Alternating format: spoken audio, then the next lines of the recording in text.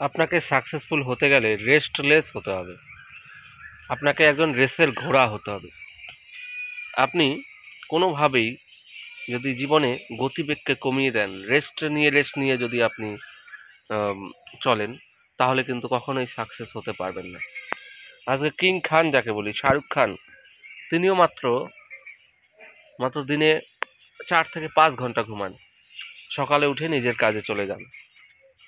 তো এই জিনিসটা কিন্তু খুব জরুরি। যতদিন আপনার জীবনে এই যন্ত্রণাগুলো থাকবে, নিজেকে পুশ করার ক্ষমতাগুলো থাকবে, ততদিন আপনি এগিয়ে যেতে পারবেন। যেগুলো যেদিন থেকে এগুলো সরে যাবে সাকসেসও জীবন থেকে সরে যাবে। কখনোই জীবনে থামা যাবে না। চলতে হবে চলতে হবে চলতে হবে।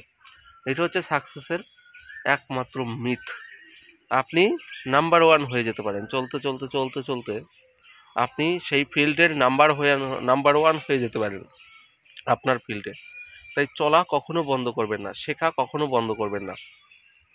ইনভেস্ট করুন নিজের প্রতি, ইনভেস্ট করুন পড়াশোনার প্রতি এবং আপনার দৃঢ় লক্ষ্যকে কেন্দ্র করে আপনি এগিয়ে যান, আপনি সাকসেসফুল অবশ্যই হবেন।